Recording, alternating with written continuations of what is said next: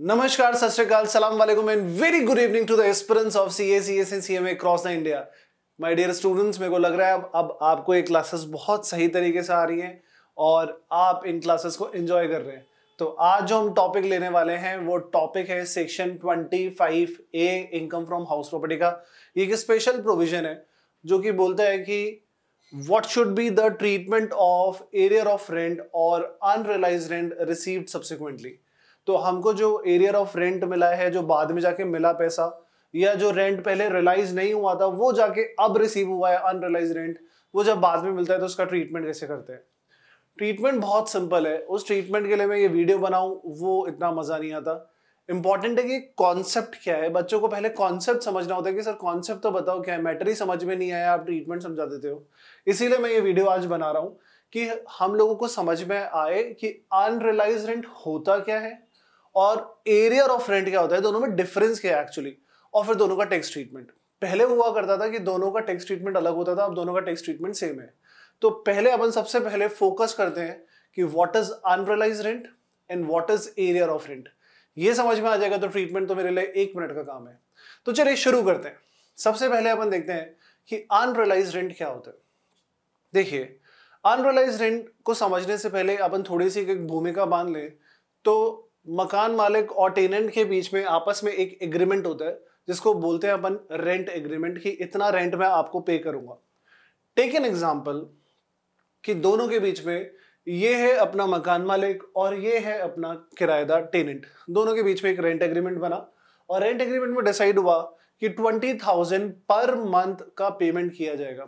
It means it means annual rent जो मिलने वाला है मकान मालिक को वो मिलने वाला है two lakh forty thousand as per the rent agreement ये आज क्लियर हो चुका है।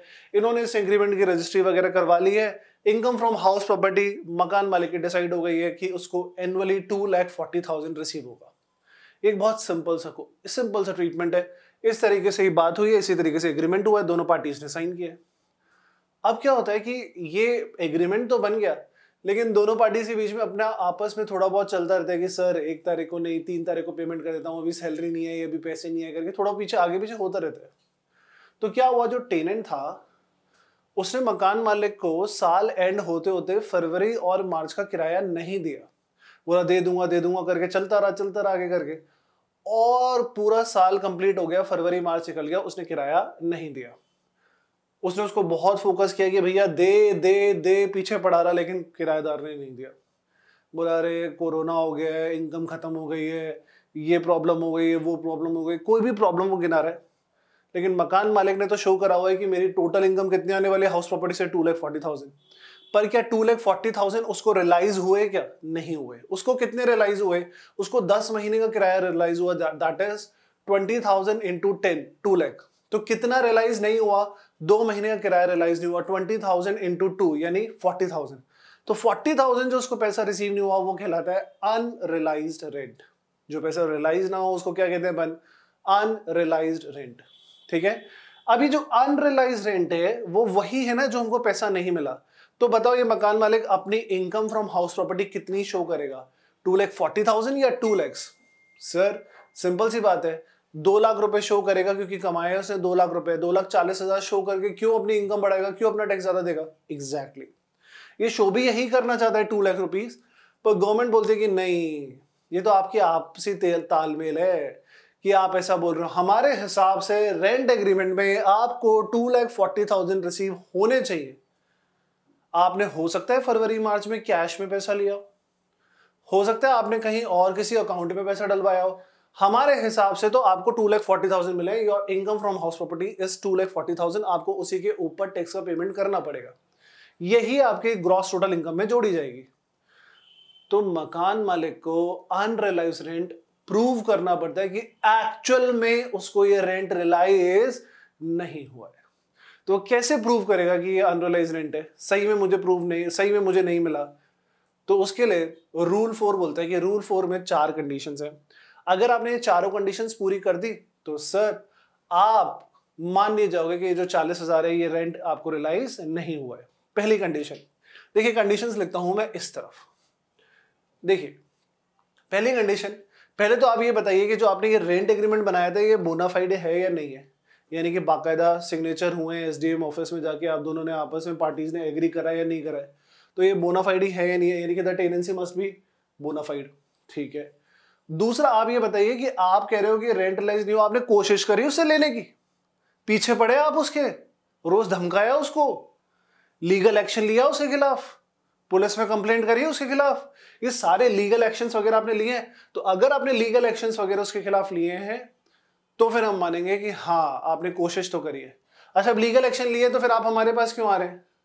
लीगल एक्शन लिया पैसा मिल ही जाएगा। अच्छा वो लीगल एक्शन लेने के बाद उसका कोई रिज़ल्ट आपके फेवर में नहीं आया, यानी कि आपने लीगल एक्शन भी लिया और उससे कोई भी आपको फ़ायदा नहीं हुआ है। ठीक है, तीसरा पॉइंट भी क्लियर हो गया। चौथा पॉइंट क्या बोल रहे हैं? चौथा पॉइंट ये बोल रहे हैं कि अब हम आपकी ये बात मान गए हैं कि आपकी टेनेंसी जो है, वो बोनाफाइडी है आपने लीगल एक्शन लिया, आपको लीगल एक्शन से कोई फ़ायदा नहीं हुआ। अब आप यहाँ पे डिडक्शन लेना चाहते हैं अनरिलाइज रेंट को माइनस करना चाहते हैं, हम दे देंगे। पर एक बात ध्यान रखना, आप इस बंदे से तंग है जिसने आपको किराया नहीं दिया है। किस घर का किराया नहीं दिया इस घर का किराया नहीं दिया अब अगर इस घर का इसने किराया नहीं दिया है तो ये झगड़ा सिर्फ़ घर का नहीं है, उस बंदे से भी है। तो कहीं ऐसा ना हो कि जो वो सेम टेनेंट को आपने अपनी और कोई प्रॉपर्टी नहीं दे रखी हो, अगर आपने उसको और कोई प्रॉपर्टी दे रखी है तो सर, आपका उसके साथ रिलेशन बड़ा अच्छा है। तो you must sure that such same tenant does not reside in your another property अगर वो आपकी और किसी प्रॉपर्टी में रहता है तो सर फिर तो आप दोनों तो सही हो। अपना अपनी अलग ही सेटिंग बना रखिए तो वो आपकी और किसी प्रॉपर्टी में भी नहीं रहता हो। अगर आप ये चारों कंडीशन पूरी करते हो तो हम मानेंगे कि ये जो रेंट है, ये एक्चुअल में अनरिलाइज रेंट है। तो this is all about unrealised rent unrealised rent का डिडक्शन आपको तभी मिलेगा जब आप ये चारों कंडीशंस पूरी करोगे। Now the next is arrear of rent अब एरियर ऑफ़ रेंट क्या होता है? सर एरियर ऑफ़ रेंट हमको जो हिंदी में मीनिंग समझ में आ रहा है, वो होता है कि जो बकाया था, वो अब मिला है। यानी कि जो पहले अनरिलाइज हो गया था, वो अब मिला है। अरे नहीं नहीं नहीं। Arrear of rent unrealised rent से अलग है। वो अनरिलाइज रेंट है। वो तब जो उस टाइम पे आपने पेमेंट नहीं करा था that become unrealised rent arrear of rent क्या होता है? मैं आपको समझाने की कोशिश करता हूँ। देखिए, दोनों के बीच में एग्रीमेंट हुआ था। और ये एग्रीमेंट लेट से तीन साल का बना, जो लीज एग्रीमेंट बना, जो रेंट एग्रीमेंट बना, और इस तरीके से बना कि भैया आपको ट्वेंटी थाउज़ेंड पर मंथ देना है डन जैसे ही साल कंप्लीट हो जाएगा, फिर आपको क्या करना पड़ेगा? टेन परसेंट आपका रेंट बढ़ जाता है। वो इसी तरीके से रखा जाता है। तो टेन परसेंट आपका रेंट बढ़ जाएगा, यानी कि अगले साल से आपको ट्वेंटी थाउज़ेंड की जगह ट्वेंटी टू थाउज़ेंड का पेमेंट करना पड़ेगा। बोला, ठीक है सर और फिर उसके अगले साल ट्वेंटी ट्वेंटी टू थाउज़ेंड का टेन परसेंट बढ़ जाएगा। यानी कि बाईस सौ रुपए तो आपको उसके अगले साल twenty four thousand two hundred का पेमेंट करना पड़ेगा। यानी कि रेंट हर साल टेन परसेंट से इंक्रीमेंट होता रहेगा। ये इस तरीके से रेंट एग्रीमेंट बनता है और आप लोग इससे अवेयर है। अब जो टेनेंट है, वो यहाँ पर इस घर में रह रहा है और पूरे साल भर उसने बीस हज़ार रुपए का पेमेंट करा। यानी कि दो लाख चालीस हज़ार का पेमेंट रिसीव हुआ। कुछ रेंट अनरिलाइज रहा, क्या? नहीं रहा। सीधी बात चल रही है। सेकेंड ईयर में भी वो ट्वेंटी थाउज़ेंड का ही पेमेंट कर रहा है। मकान मालिक ने बोला कि, अरे एज पर एग्रीमेंट आपका रेंट अब बढ़ चुका है, आपको ट्वेंटी टू थाउज़ेंड देना है। बोल रहे नहीं सर, ना तो मैं एक खूबसूरत सा घर छोड़ के जाऊँगा, क्या खूबसूरत घर है। ना तो मैं ये घर छोड़ूँगा और ना मैं किराया बढ़ा सकता हूँ, मेरी हालत इतनी अच्छी भी नहीं है। मैं गंदे तरीके से रहना नहीं चाहता, मैं किराया देना चाहता हूँ, लेकिन ज़्यादा किराया अभी मेरे बस की नहीं है। तो बोला, अरे, इतना से तो किराया बड़ा बोलता है, नहीं सर, मेरे लिए भारी है, मैं नहीं दे पाऊँगा। वो कह रहा है, नहीं दे पाओगे तो निकल जाओ भैया। ना वो घर छोड़ रहा है और ना वो बढ़ा हुआ किराया दे रहा है। तो मकान मालिक ने उसके खिलाफ कोर्ट में अर्जी लगा दी कि, सर, ये तो मेरी बात मान ही नहीं रहा, मेरा घर भी खाली नहीं कर रहा है मेरे को जो कितना, जितना भी किराया बनना चाहिए वो देता भी नहीं है। हाँ दे रहा है, पर पुराना किराया दे रहा है, नया किराया नहीं दे रहा है। तो हर महीने दो दो हज़ार रुपए कम दे रहा है, यानी कि इसके पास मेरा हर महीने का इतना बकाया हो गया है। तो कोर्ट अगर मकान मालिक के फेवर में ऑर्डर पास करती है तो जो पुराना पैसा हर महीने का दो दो हज़ार बनता था, अगर टेनेंट वो पैसा मकान मालिक को देते तो वो अपने को क्या कहलाता है? एरियर ऑफ़ रेंट कि ये जो मुझे मिलने चाहिए थे हर महीने, वो बाद में जाके मिले। तो एरियर ऑफ़ रेंट कब होता है? जब आपके रेंट में इंक्रीमेंट होता है और वो इंक्रीमेंट वाला पोर्शन टेनेंट ने नहीं दिया होता है तो वो धीरे धीरे टेनेंट के ऊपर क्या बनता जाता है? ऑब्लिगेशन बनता जाता है। और जब वो हमको पे करता है तो we received arrear of rent तो unrealised rent is a different thing and arrear of rent is a different thing I hope आपको ये दोनों कॉन्सेप्ट अच्छे से समझ में आ गए होंगे। अगर आपको ये दोनों कॉन्सेप्ट बहुत अच्छे से समझ में आ गए तो it is a right time कि अब हम देखें कि इन दोनों कॉन्सेप्ट में टैक्स ट्रीटमेंट क्या होता है। Tax treatment of unrealised rent और एरियर ऑफ़ रेंट अब मैं आपको दिखाता हूँ टैक्स ट्रीटमेंट क्या है। अब देखिए टैक्स ट्रीटमेंट समझने से पहले एक बार हम देख लेते हैं कि हाउस प्रॉपर्टी का फॉर्मेट क्या था। बहुत सिंपल से फॉर्मेट था। हमारे घर की जो भी एनुअल वैल्यू आती थी, यानी कि हमको जो भी एक्चुअल रेंट रिसीव हुआ या जो एक्सपेक्टेड रेंट था विच एवर इज़ हाइयर हमारी घर की एनुअल वैल्यू थी, उसको बोलते थे अपन ग्रॉस एनुअल वैल्यू जीएवी उसमें से अगर हमने कोई टैक्सेस का पेमेंट कर दिया है तो सर वो हटा दो, जो बचेगा वो कहलाएगी। एन नेट एनुअल वैल्यू हमारी ये है। नेट एनुअल वैल्यू में से अपन दो डिडक्शन देते थे। एक डिडक्शन है अपना सेक्शन 24 ए में स्टैचुरी डिडक्शन जो कि 30 परसेंट मिलता ही मिलता है आपको।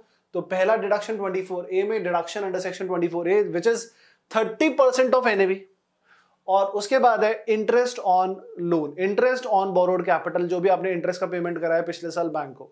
तो यहाँ पर अगर मैं अपना जो अपने कैलकुलेशन लिया था उसके हिसाब से डाल के देखूँ तो देखिए इस कॉलम में मैं डाल रहा हूँ कि टू लैख फोर्टी थाउज़ेंड मेरा ग्रॉस एनुअल वैल्यू मैंने ये एक्सपेक्ट करा था कि मेरा एनुअल वैल्यू ये annual value gross annual value ये होना चाहिए। ठीक है म्यूनसिपल टैक्सेस नहीं है तो मेरा नेट एनुअल वैल्यू भी यही होना चाहिए टू लैख फोर्टी थाउज़ेंड अब इस टू लैख फोर्टी थाउज़ेंड के ऊपर बताइए मुझे कितना डिडक्शन मिलेगा? बोलिए। सो थर्टी परसेंट मिलेगा। तो दो लाख चालीस हज़ार का थर्टी परसेंट आप अगर देंगे तो it comes to seventy two thousand clear है बात? और एक लाख रुपए का मैं इंटरेस्ट ऑन बोरोड कैपिटल मान लेता हूँ। तो आपने सेवेंटी टू थाउज़ेंड ये और एक लाख ये माइनस करा, उसके बाद आपका आता है हाउस प्रॉपर्टी की ये इनकम ये एक जनरल था जनरल पॉइंट अब अगर आपको रेंट रियलाइज़ नहीं होता है रेंट रिलाइज नहीं होता है तो आपकी कैलकुलेशन कैसे होती है? बहुत सिंपल सा है, देखिए। आपकी कैलकुलेशन होती है, जो ग्रॉस एनुअल वैल्यू है, वो टू लैख फोर्टी थाउज़ेंड होनी चाहिए थी, पर क्या आपको रिलाइज हुए क्या पूरे पैसे? नहीं, आपको फोर्टी थाउज़ेंड रिलाइज नहीं हुए। तो एनुअल वैल्यू आपकी निकल के क्या आ गई? सर एक्चुअल में तो आपको एनुअल वैल्यू खाली दो लाख रुपए मिली। नेट एनुअल वैल्यू भी आपकी दो लाख है, क्योंकि म्यूनसिपल टैक्सेस नहीं है। तो अगर आपकी एनएवी दो लाख रुपए तो आपको डिडक्शन कितने पे मिलेगा? दो चालीस पे या दो लाख पे? ऑब्वियसली थर्टी परसेंट आपको एनएवी पे मिलता है तो थर्टी परसेंट किस पे मिलेगा? एनएवी पे। कितने में मिला आपको डिडक्शन आपको डिडक्शन खाली सिक्सटी थाउज़ेंड मिला। और पहले वाले में दो लाख चालीस हज़ार में देखिए आपको कितना मिला था। ज़्यादा मिला था क्योंकि एनएवी ज़्यादा थी तो आपको खाली सिक्सटी मिला। अब आपने इंटरेस्ट ऑन बोरोड कैपिटल कितना माइनस करा?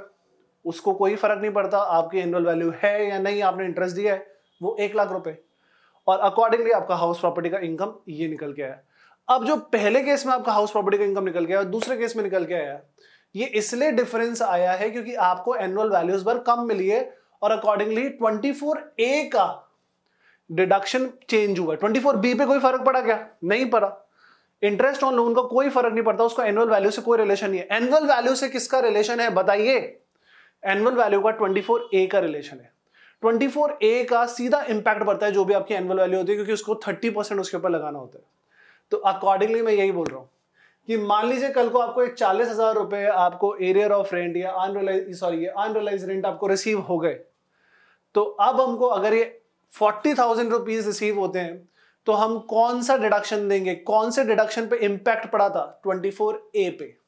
तो टैक्स ट्रीटमेंट ये है कि अगर आपको अनरिलाइज रेंट रिसीव हो या एरियर ऑफ़ रेंट रिसीव हो तो वो जिस टाइम पर रिसीव नहीं हुआ था तो उसका डिडक्शन 24 ए का उस टाइम पे नहीं मिला था। तो उसका रिडक्शन आप कब दे देंगे? अब दे देंगे। तो 24 ए का रिडक्शन देंगे 40,000 के ऊपर विच कम्स टू बताइए बारह हज़ार रुपए। और एक्चुअल में फिर अब इस साल की इनकम कितनी मानी जाएगी? 28,000 और देखिए डिफरेंस में आपको दिखाता हूँ कैसे कैसे डिफरेंस आया। पहले चालीस हज़ार का डिफरेंस आया फिर यहाँ पे डिडक्शन में बारह हज़ार का डिफरेंस आया और फिर आखिरी में दोनों इनकम के बीच में अट्ठाईस हज़ार का डिफरेंस आया था और वही सब कुछ सामने निकल के आ गया। तो साथ में साथ प्रूफ भी हो गया। तो आपको मैं समझता हूँ कि ये कॉन्सेप्ट बहुत अच्छे समझ में आएगा। मेरे को मेन फोकस था कि आपको कॉन्सेप्ट समझ में आए। ट्रीटमेंट तो उसका बहुत आसान है। तो अगर आपको ये कॉन्सेप्ट अच्छे से समझ में आया हो तो प्लीज़ वीडियो को लाइक कर लीजिए।